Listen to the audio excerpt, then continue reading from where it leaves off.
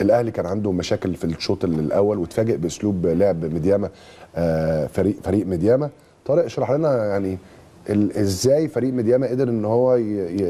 يعني رغم وجود فرص للأهلي في الشوط الأول ولكن إزاي كولر اتفاجئ بأسلوب لعب مدياما هو بقدر الإمكان مدياما حاولوا إن هم يصعبوا الماتش على الأهلي بشكل كبير بالناحية التكتيكية وده اللي إحنا هنشوفه دلوقتي بال- بالتكتيكال باد لو لو جاهز معانا هنشوف إن إزاي ميدياما هم بيدافعوا بالطريقة بتاعتهم كانت بتصعب الدنيا على ال- ال- الأمور. الدنيا بتصعب على الأهلي بشكل كبير جدا. الأهلي هو معاه الكرة دايما بيلعب بال 4 3 3 وبيحاول اللي هو يخلي الثلاث مهاجمين الاثنين في الجناحين فاتحين على الخط والراجل المهاجم موجود في نص الملعب والاثنين التمانيات زاقين لفوق وبيبدأ يبني اللعب مروان عطية قدام الاثنين ال center back ات وأظهرة الجنب دايما موجودة في في الأماكن دي. واللي كان بيحصل إن ميدياما كانوا دايما بيحاولوا اللي هم يلعبوا man to man على الثلاث لعيبة اللي موجودين في في العمق عند بداية الهجمة وفي نفس الوقت الاثنين التمانيات اللي موجودين في نص الملعب. لو رحنا بالصور هنشوف إزاي ميدياما هم بيضغطوا بالطريقة بتاعتهم. كانوا دايما بيلعبوا بخمسة اتنين واحد اتنين. دايما في اتنين مهاجمين زاقين على اتنين ال center back ات ودايما في راجل زاق على الراجل نمرة ستة بتاع الأهلي.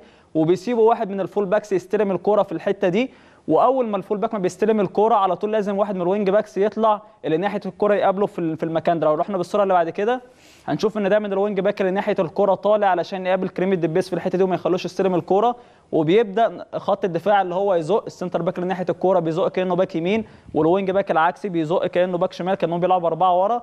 وبيخلوا إن الأهلي ما عندوش أي فرصة لو يطلع بالكورة في المكان ده وما فيش أي حل من من حلول التمرير. لو رحنا بالصورة اللي بعد كده هنشوف إن في الجنب الثاني نفس الكلام بيحصل ال wing back اللي ناحية الكورة بيطلع يضغط من فوق على ال- ال back اليمين بتاع الأهلي. بقية الناس بتزق في الجنب اللي فيه الكورة عشان يمنعهم اللي هم يتدرجوا بالكورة من المكان ده وبيقدروا اللي هم يمنعوا الأهلي من اللي هو يوصل لمناطقهم. لو ش... لو رحنا بالصورة اللي بعد كده هنشوف إزاي هم لما كانوا بيقفوا في نص ملعبهم لو كان لما كانوا بيرجعوا عند التلت الدفاعي بتاعهم كانوا دايما بيتحولوا ل 5 3 2 وكانوا بيحاولوا هم يضيقوا المساحات قدر الإمكان عشان يمنعوا الأهلي من اللي هو يوصل لمرماهم.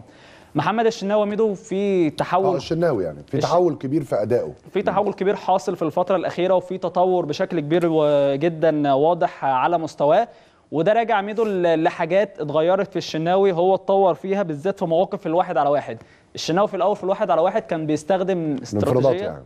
است- استراتيجية أو تكنيك بيستخدمه في الواحد على واحد اللي هو بي, بي الانفرادات. آه. ال- engage and react اسمه كده التكنيك اللي كان بيستخدمه اللي هو كان بيعمله فيه اللي هو يطلع من جونه يقابل المهاجم اللي جاي وبعد كده يستنى الشوطة تتشاط وبعد كده يبدأ ياخد رد الفعل بتاعه. التكنيك اللي هو بيستخدمه ده بي بي بيقتل ال reaction time بتاعه بيخليه اللي هو دايما لما يحاول يعمل ال try أو يحاول هو يصد الكرة بيروح متأخر وبيخلي دايما الكرة بتبقى مسابقاه بفرق كبير في الزمن. لو رحنا للصور اللي معانا عن محمد الشناوي هنشوف إن في في ماتش بيراميدز من السنة اللي, اللي, اللي قبل اللي فاتت محمد الشناوي هو بيستخدم التكنيك بتاعه. طلع ووقف على رجله. كان في صورة قبل دي وهو طالع من من أول ما طلع من الجول بتاعه طلع ووقف على رجله واستنى لغاية المهاجم ما شاط الكرة إبراهيم عادل وبعد كده حاول اللي هو يتحرك علشان يصد الكرة. وده اللي خلاه اللي هو لما أخذ الفعل بتاعه كانت الكرة أصلا عدته ودخلت على الجول. اللي حصل إن الشناوي غير التكنيك بتاعه غير الاستراتيجية بتاعته وبدأ يستخدم تكنيك تاني اسمه اللي هو smother and spread اللي هو بيطلع بيبدأ يفرد جسمه على الأرض بالعرض علشان يقفل كل الزوايا اللي ممكن. يشوط منها اللعيب ال- المنافس وده اللي بيستخدمه أليسون في ليفربول أليسون في ليفربول يا ميدو الموسم اللي قبل اللي فات آه 30% من الجوال أصلا اللي جت في ال Premier League في الموسم اللي قبل اللي فات كانت بسبب مواقف واحد على واحد وانفرادات على حراس المرمى أليسون كان هو أكتر حارس في ال Premier League بيصد كور من الانفرادات كان ال above average بتاعه آه، 8.2 وده أعلى من من المتوقع بفرق 8 جوال. أليسون السنة اللي فاتت في ال Premier League يا ميدو ات- اتعمل عليه اتعمل عليه 43 حالة واحد على واحد صد منهم 26 موقف وده برضو الرقم الأعلى في ال Premier League بسبب استخدامه للتكنيك ده.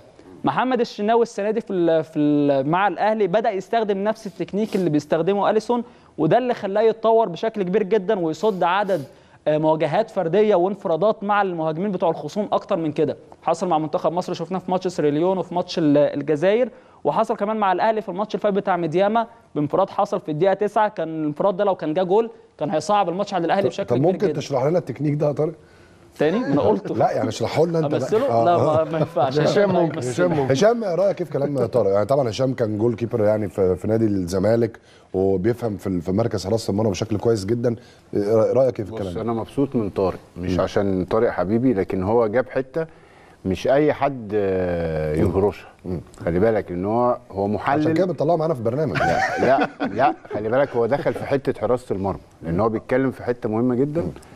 لأن لو انت لاحظت اللي هو قاله بالظبط وأكتر حاجة ثبتتها الصورة اللي جابها وقت بيراميدز إن كان الشناوي بيطلع بيبقى رد فعل. لكن هو دلوقتي بقى بيوجه اللي داخل عليه على الكورة إن هو ما يبقاش عنده غير اوبشن واحد. بيقفل عليه زاوية وخلاص بيخليه يتعامل في زاوية معينة. لكن قبل كده كانت زاويتين بيبقوا مفتوحين له. بتكنيك ما حدش هيعرف يشرحه دلوقتي ولكن أنا بصراحة يعني بقولها إن هو جاب آه، القصة صحيح. بشكل من. زاويه 10 على 10 صحيح. الشناوي بطل بجد. والشناوي يعني أنا أنا أنا بصراحة يعني يعني أنا أنا بحبه جدا. أنا على فكرة ما قابلتوش على المستوى الشخصي إلا مرة ولا مرتين لكن أنا بحبه جدا لأنه فعلا بيطور من نفسه و و و كله فيه أخطاء لكن هو مركز. مركز.